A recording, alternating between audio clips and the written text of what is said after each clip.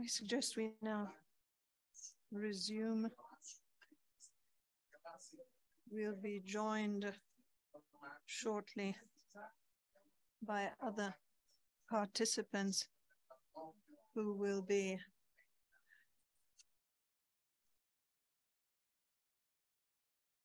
connecting from Rome, where they're holding a conference on uh, doubling the uh, Tenda Tunnel. Thank you. I'd also to thank the ceremonial department of the Valle d'Aosta region. I'd also like to thank the department uh, that uh, reports to me and then the president of INVA and naturally European Affairs Department. They're my guardian angels in following all these matters. And I also obviously thank the political authorities, Corrado Jordan, who's our special envoy for Switzerland, because like a St. Bernard dogs, he lives on the border. And Franco Manes too is our eyes in Rome, and I thank him for the work he's doing.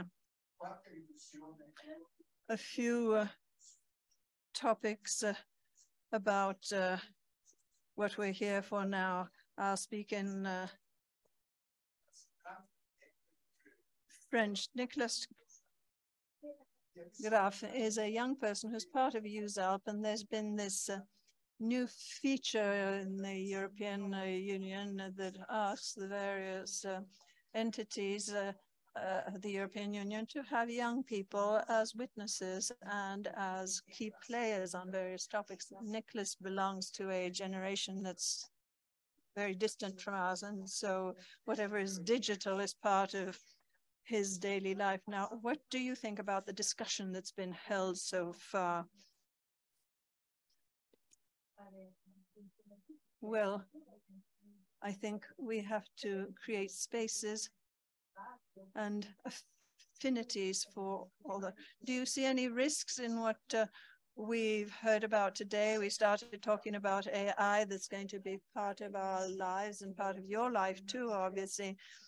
We uh, mentioned some of the risks and dangers when we uh, spoke with uh, the rapporteur. What do you think about AI? Well, there's the, there are already young people who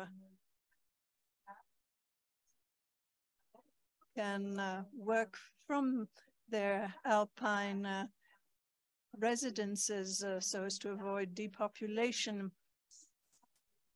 Can uh, digital matters uh, be uh, a danger? I have three children.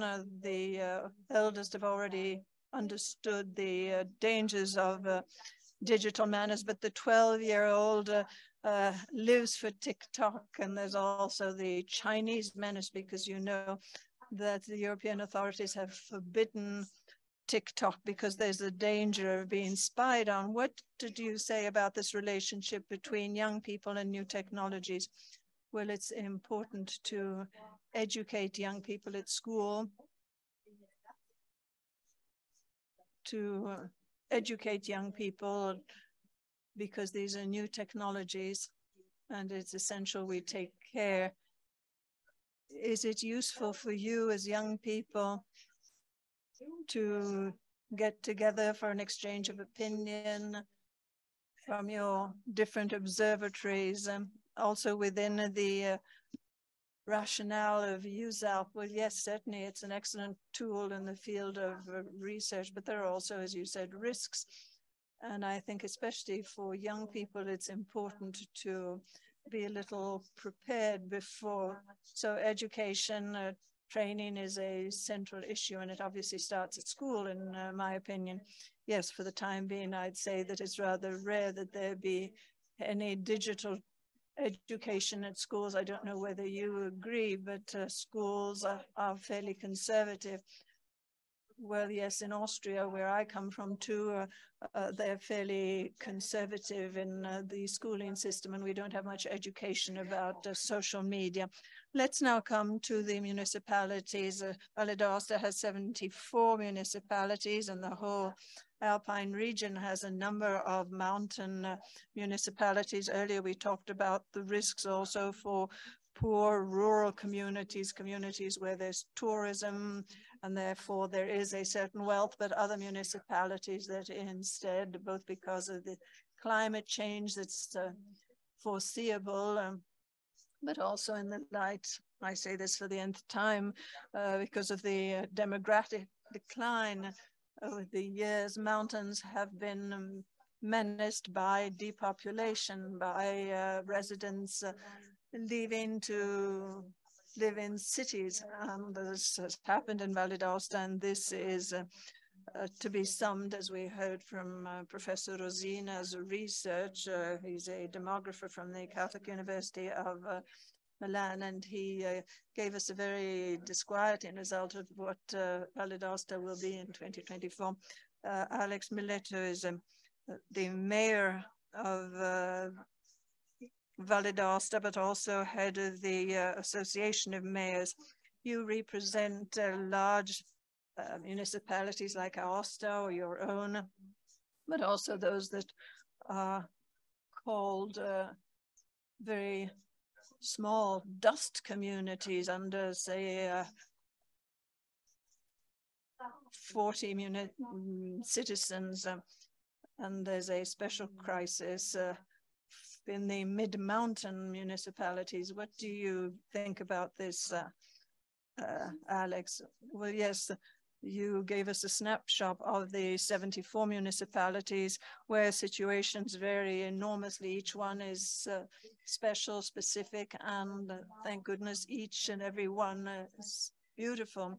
A digitalization can uh, the uh, link that uh, brings all these uh, municipalities together because we have to grasp this opportunity. We've got to ensure that technology that increasingly is part of our daily lives would allow us to um, destroy the barriers that exist today between the smaller and the bigger and the mid-mountain communities because uh, obtaining services, the possibility that our citizens, whether residential or tourist citizens, be able to always be uh, connected uh, technologically and carry out their activities. That's what in the immediate future, but I think also more in the long term, will allow us to reconquer the position that uh, the less advantaged municipalities from a geographical standpoint and also in terms of population are currently experiencing.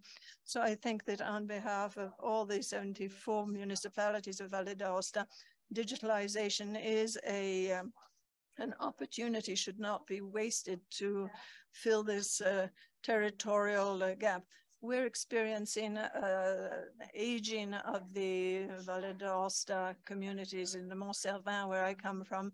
The average age of inhabitants is around 50, and this is true also for municipal employees. The problem of, I mean, we all tend to be very conservative. Thank goodness faxes have disappeared, fax machines. It's only the telecom people uh, who uh, still use faxes when uh, you have to uh, cancel your uh, subscription and you have to look up uh, some old fax machine to be able to inform them because that's the way officially you're supposed to. Yes, training certainly is a, a key element that's essential for the uh, administrative activity of all our entities. We too are facing a generational uh, shift um, because uh, thank goodness because of the turnover past years we're returning to a situation in which we can make new hires and therefore uh, face our daily activities. Education is certainly necessary because these technological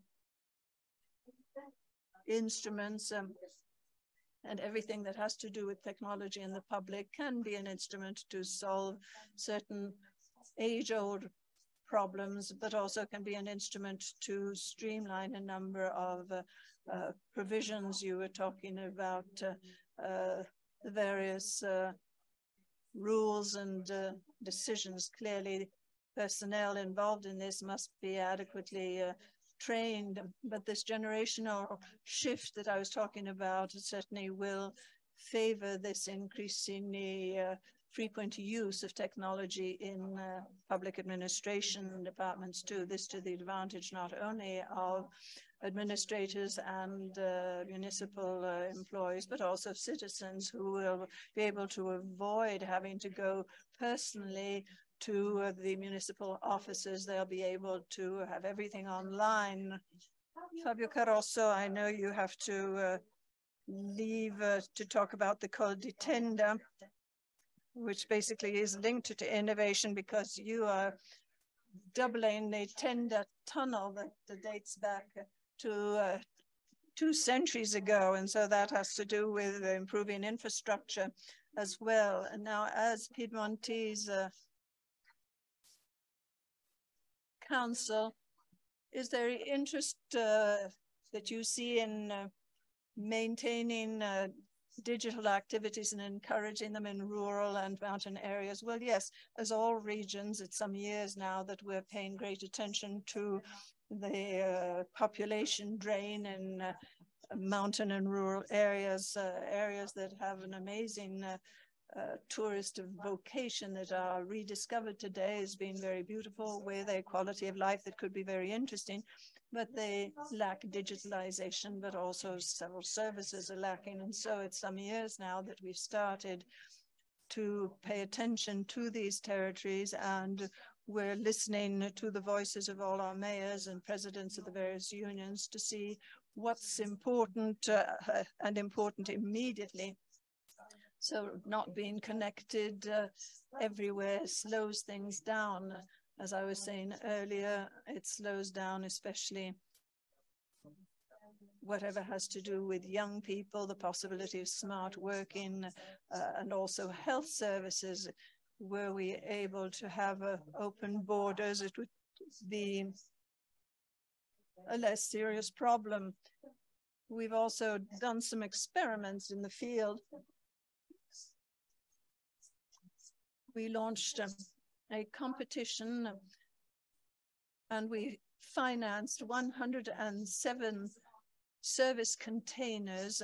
We started working with people who were present uh, in our territories to give services to our citizens. For instance, there are small uh, shops that were uh, centers for aggregation where people would go to uh, have a coffee in the evening, but then one starts to chat uh, around the cafe table. And so we've opened these shops, uh, some already were present, and we're trying to create innovation. And within these shops, uh, they're the um, front runners in these territories. We've tried to understand what can be necessary. And from one valley to another, the information we get back is fairly different. But everyone says we need digitalization and innovative service. We also asked another interesting question because I think one also must not just work in a uh, single direction. We also had a competition uh, about uh, mountain residence citizens. Uh, so we funded families under the age of 40 who can work through smart working, and we've given them the possibility to buy the house here. We spent about 11 million euro, and in some small municipalities, we were able to attract four or five families. Now the mayors have the problem of having school buses because in one municipality, uh, uh, four families arrived, each with three children. So that means that they're uh, new children to be able to uh, feed our schools, and but they have to be uh, taken to school every day. Fabio, you were courageous enough to help a very, very small municipality of Valmaera for the 20 million of the so-called borghi, the hamlets, but it was uh, something of a political choice too. Well, it's not the Piedmont region that uh, actually took that decision. I actually wouldn't have funded uh, such a small municipality with 20 million uh, euros. I think it was an error, but it certainly is a great opportunity for the municipality of Elva. They're working with all the uh, universities. They're changing the municipality. They're very concerned because they have to uh, spend the money. Yes, it's a, a common uh, concern for all Italian hamlets, but it certainly is the most digitalized uh, uh, municipality with more uh, university outposts than any other town. Uh, Laurence uh, Boetti Forestier can tell us something about the Région Sud, about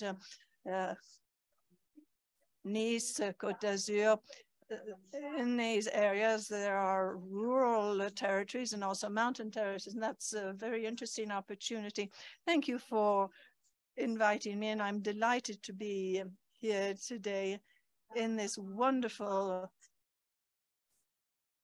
region, uh, in these wonderful surroundings, and especially thank you, uh, President. I bring you the greetings of uh, the uh, Sud-Provence Côte d'Azur province. So that's what I uh, knew how to say in uh, Italian, but uh, I'm very happy to be here today with you, right in the heart of the Alps.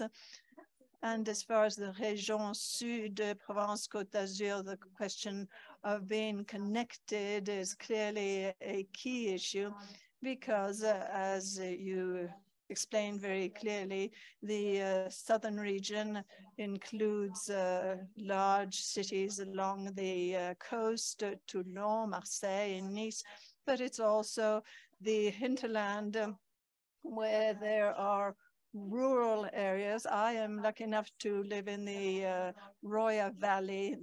The Roya Valley links uh, two states, France and Italy, in three regions, Piedmont, Liguria, and uh, Sud Provence Côte d'Azur, and uh, Monaco. And this is a, a, very important area if we want to uh, remain in these areas. The territories obviously have to have very good networks, and I'm proud to be able to tell you today that the uh, southern region has funded the full amount necessary to uh, install uh, fiber optics. Uh, without this, nothing would be possible. We have several projects that, that have been included under the heading of smart villages. Um, I'll say this fairly quickly, but all this is part of the uh, FEDER funds from the European Union, more than 15 million euro that have been contributed by our region to take it to the last mile to start from Nice means also means going 60 kilometers further away to be connected in the same way. So it's also a question of democracy, territorial democracy. Without information, communication, there'll be a social fracture. And uh, as you were able to see in the news, uh, we're very vigilant uh, about maintaining our young people in our territories, providing them with full information. So this information requires a good network. It uh, is also based on smart policies and also this participative form of democracy. Let me give you an example. We have uh, areas that are uh, installed by the region. These are uh, homes that are connected, that provide proximity services, postal services. In these uh, uh, third-party places, one can have exchanges. So there's a social link, there's social connections, there's this democracy that I'm so, uh, I feel so important. It's the possibility of living together in this uh, area of the uh, Alpine uh, chain. It's question of fighting against medical desertification. Uh, yesterday, I was lucky enough to, I was uh, shown a medical drone that's funded uh, by the region. So this drone can deliver, it's still experimental, it uh, will be able to deliver medicines to hospitals and it will also be able to deliver uh, laboratory specimens. when necessary. So this means that we can remain in our villages, we can work, we can be educated and trained. And then there's also the question of culture. One always talks about uh, information and lots of other things, but what's key today is to have access uh, to have culture. This for our children with uh, an excellent level of resolution and also with excellent connections. So it means uh, equal opportunities, access to networks, to uh, medical services, uh, proximity services, and with my colleague from the Piedmont region, we have been working together because there's a second pillar too, which is mobility. Without mobility, uh, we're working on the Nice-Turin train line because the two pillars are the two, we walk on two legs. We have to have a digital network to be able to work uh, for our businesses, but it also means being able to travel, to move. And uh, we must cooperate between uh, urban territories and uh, rural territories. And metropolitan cities must collaborate with rural areas. So thank you. Thank you, Laurence. It's really very interesting. And let me address to Sebastiano Callari, the regional assessor for uh, digital matters. It's really very interesting what we're doing in these years. On the one hand, we have Interreg, uh, Italy and Switzerland, in your case, Austria, Slovenia. On the other hand, we're working with Euro regions. We will relaunch Alp Med in January, the same uh, area as covered by Alcotra.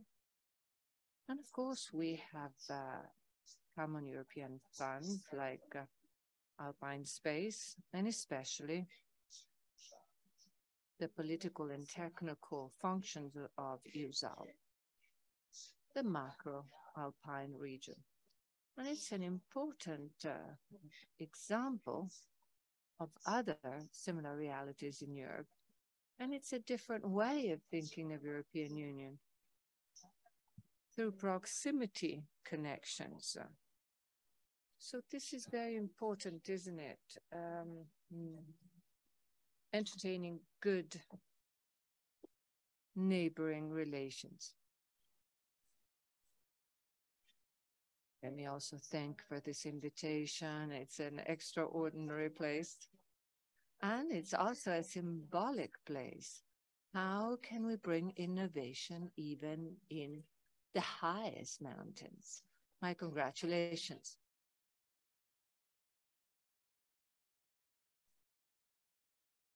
It's an important opportunity for us uh, since uh, neighboring countries like Slovenia and Croatia joined the European the European Union only a short time ago. And so we are leading projects uh, which share best practices.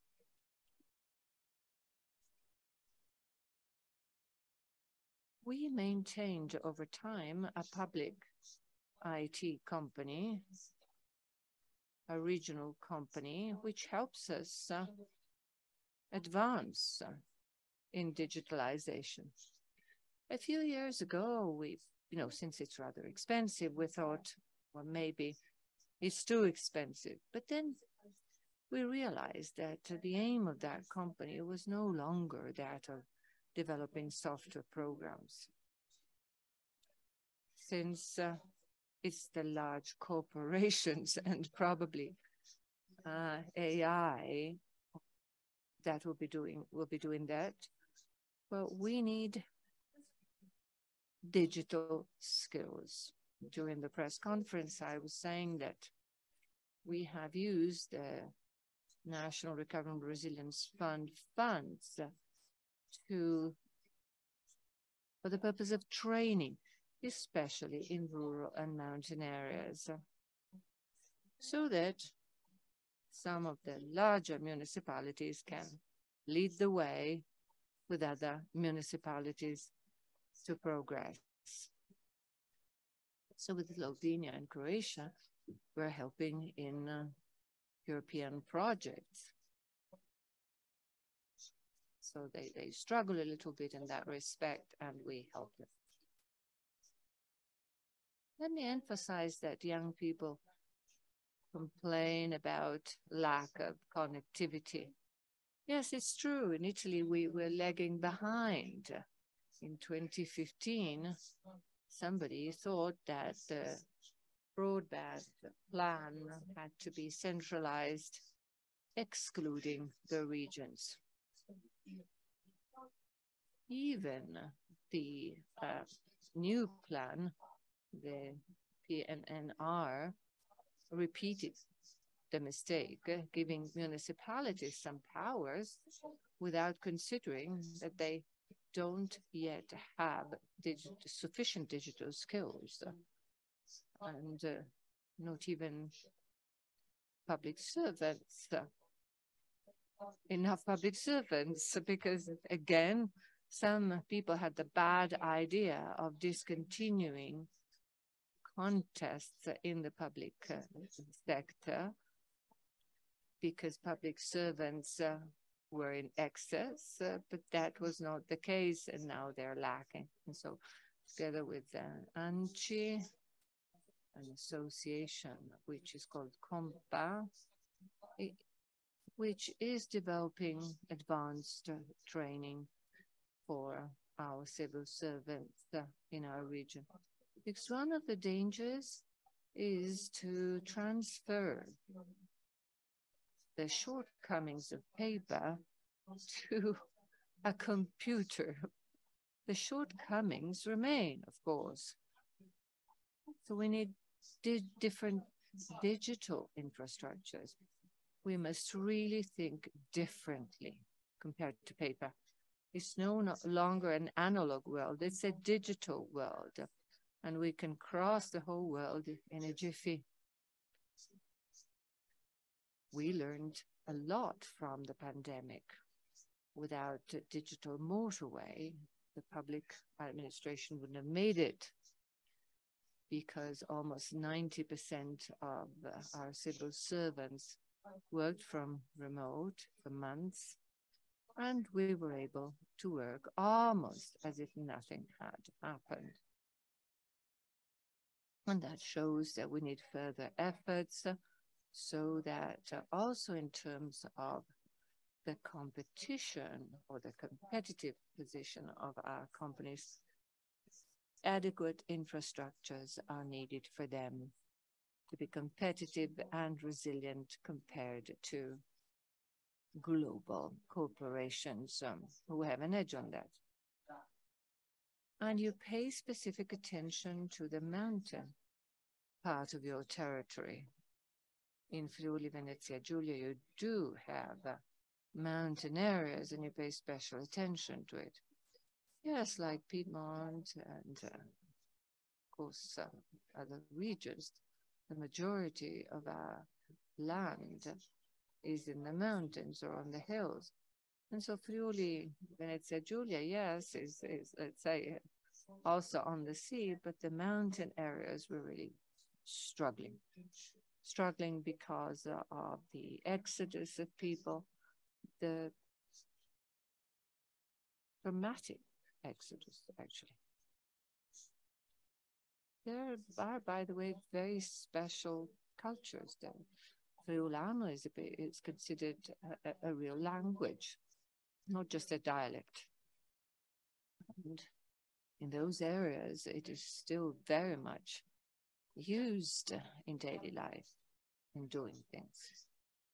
So in that respect, uh, we did something very important. Through an agreement signed with Google, we managed to get the internet in the Friulano language, so to get the translation for the elderly population especially, so that they can read the minutes of uh, public meetings, uh, especially to the benefit of uh, senior citizens. And now, Alain Marais, préfet district d'Entremont. Well, some time ago, a document was submitted, uh, which was about an agreement between the plain and the mountains, uh, and the model for that agreement comes from Switzerland, uh, where in past centuries uh, the whole thing began. So your role in uh, EUSALP is uh, to pay great attention and give priority to the mountains. Exactly. Let me greet all of you. Let me thank you for your invitation to this conference. Yes, I come from the northern part of the Great St. Bernard, and uh, I collaborated in various Interreg projects uh, with the southern part of it, i.e. with the Corrado Jordan, who is uh, representing that region. Mountain collaboration, mountain area collaboration, it's always a matter for discussion and tension too. I come from Valais, and there we have uh, the Rhone plain, and then uh, the side valleys uh, too. And uh, everybody's concerned about demographic issues. Of course, the Rhone area has uh, a voice in economic terms, in social terms, in demographic terms. And of course, it's true that uh,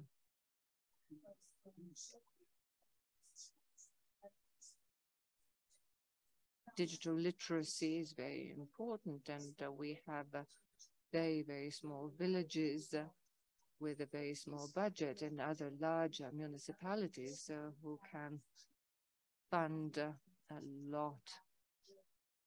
I mean, they have a huge annual budget that they can use, for example, for to provide uh, IT services whereas small municipalities uh, might have just one uh, person dealing with,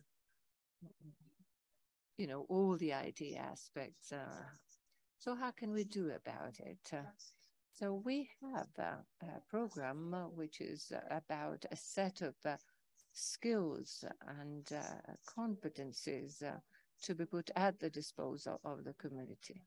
It's mostly about digital literacy, is mostly about meeting the citizens' needs.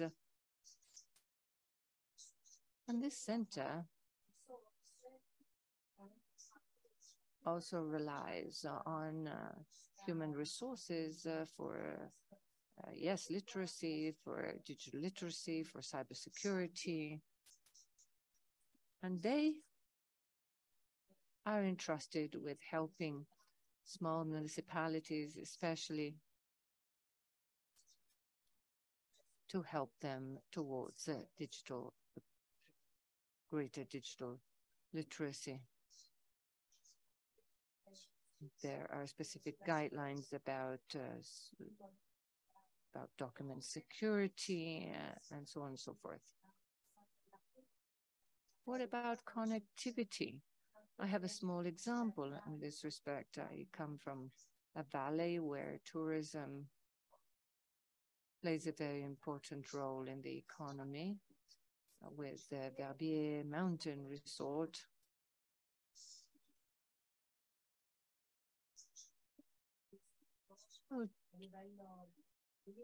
Tourism developed in the second uh, half of the 20th century. And uh, there are many people, you know, who came to the mountains for their holidays.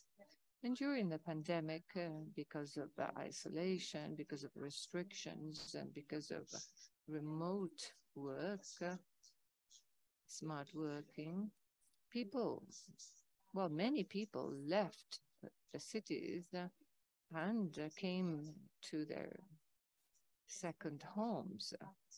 Well, they actually moved their residence there because we have a very good connectivity there.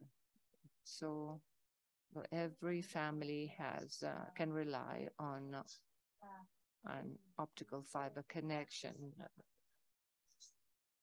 That's very, very interesting because it enables people to actually work from home.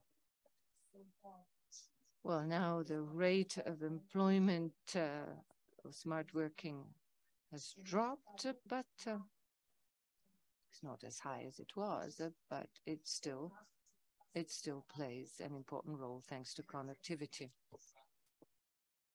I think Carlo might have a stroke when he hears this. Uh, well, he says, let's go round the table a second time. I think we've been exhaustive enough. Uh, those uh, who know me, uh, well, they know that I think that being short is a true talent. Uh, so I'd like to thank all the various uh,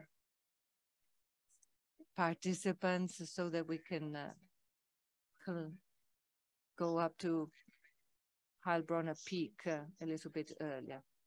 In the forthcoming Swiss uh, assembly will certainly repeat it.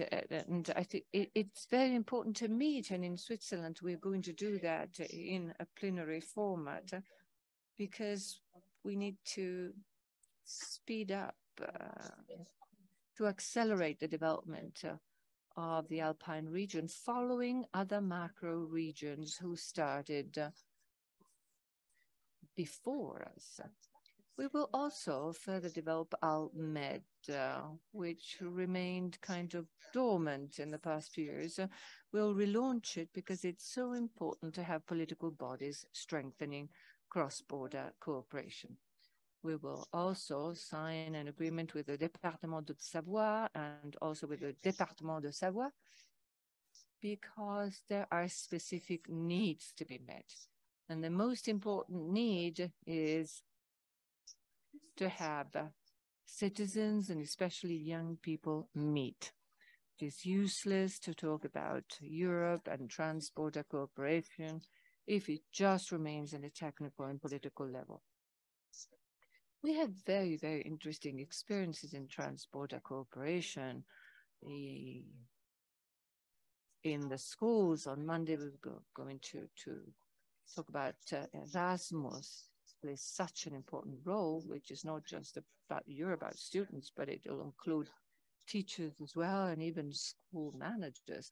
Uh, Franco Cossara is uh, a school manager at uh, the language high school of Courmayeur and he spent some time in Norway to see how sports language schools work there so as to export that model.